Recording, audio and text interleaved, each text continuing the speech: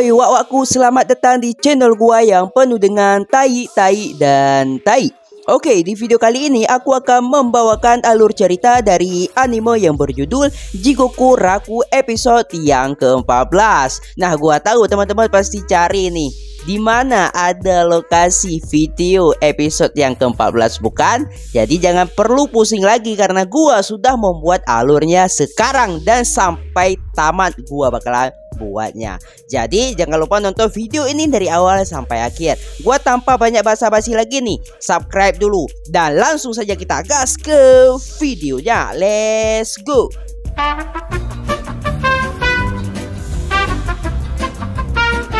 Saat pagi tiba, Gabimaru dan yang lainnya pergi menuju arah kuil yang di mana di sana adalah markas para Tencent. Saat di perjalanan, Gabimaru terus berpikir kenapa dia mau berpartisipasi dengan mereka. Dalam hati dia berkata, apa mungkin aku punya alasan lain? Semakin Gabimaru mengingat hal itu, dia semakin lupa dengan apa yang sudah terjadi. Tiba-tiba saja muncul Chobei di hadapannya. Dengan senyuman sinis, Chobei langsung menyerang Gabimaru dan semua orang yang di sana dibikin kaget dengan apa yang Chobei lakukan. Alasannya karena yang lainnya berpikir kalau mereka bisa jadi sekutu guys. Tapi ia mau gimana? Si Chobei-nya tidak mau bersekutu. Padahal adiknya si Toma dia mau bekerja sama dengan Gabimaru dan yang lainnya. Setelah menerima serangan dari Chobei, Gabimaru langsung membalas sampai-sampai tangan dan juga lehernya dipatahkan. Tapi Mei yang mengetahui kalau Chobe mempunyai tahu yang sangat besar langsung berteriak dan berkata, Gabimaru, dia tahu besar. Gabimaru beberapa detik sempat bingung dan di saat itulah Chobe bangkit dan langsung membanting Gabimaru.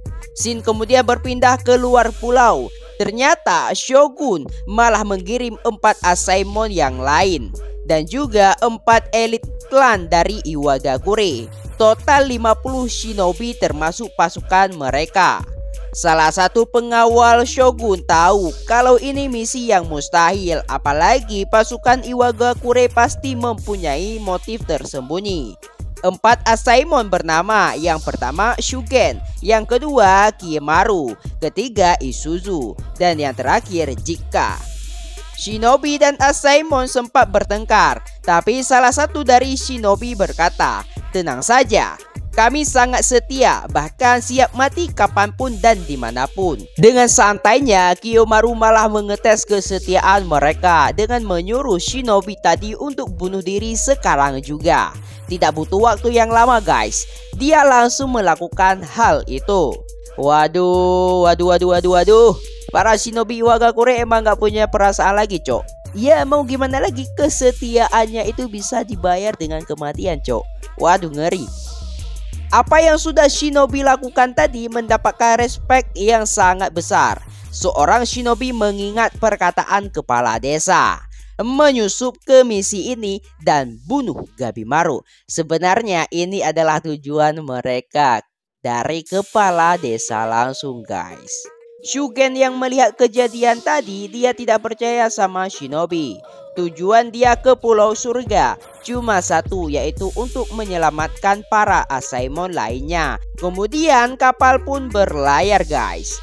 Saat masih dalam perjalanan, Jika berkata, hal ini percuma saja.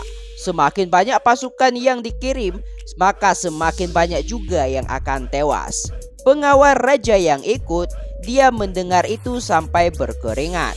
Lalu Jika lanjut berkata, Bukankah masih ada waktu untuk memutar balik kapal ini? Kemudian Shin kembali lagi ke Gabimaru, di mana Gabimaru kewalahan menghadapi Chobei. Padahal sebelumnya dia sudah mematahkan lehernya. Gabimaru terus-terusan kebingungan dan bertujuan untuk mengumpulkan informasi terlebih dahulu. Gabimaru mulai fokus dan serius, lalu mengeluarkan jurus Blooming Needle. Gabimaru langsung mengincar otak dan matanya. Gabimaru tidak peduli coba abadi ataupun tidak. Yang pastinya dia harus menghilangkan inderanya harus berhasil. Gabi baru melakukan apa pun untuk mengalahkan Chobei, mulai dari menggigit otot daging sampai mengincar pembuluh darah, urat saraf, dan yang lainnya. Gaya bertarung Gabi Maru ini sangat mirip seperti binatang buas guys. Tapi yang dilakukan Gabi Maru percuma saja. Chobei langsung menghentakkan kakinya sampai-sampai tanah di sekitar itu hancur. Chobei dengan santai langsung maju dan mendaratkan beberapa pukulan. Tamiya merasa ada yang aneh dengan Gabimaru. Dia terlihat lebih lemah dari yang kemarin. Mei juga melihat kalau tahu Gabimaru sangat aneh. Gabimaru terus berpikir kenapa dia tidak bisa fokus. Dia berkata dalam hati, aneh sekali, aku merasa seperti aku kehilangan sesuatu.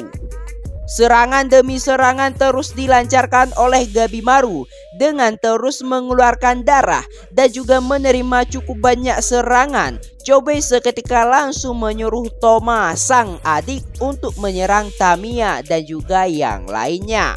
Lalu Toma pun langsung maju dan bersiap untuk menusuk Tamiya.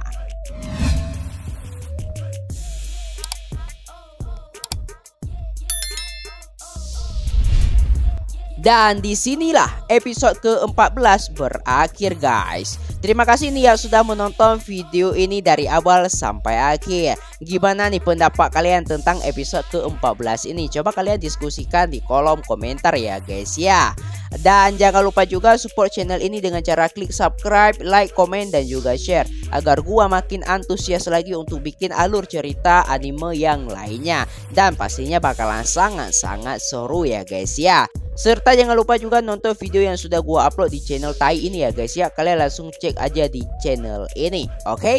Dan sampai jumpa di video selanjutnya. Gua Syawal. Assalamualaikum warahmatullahi wabarakatuh. Bye bye.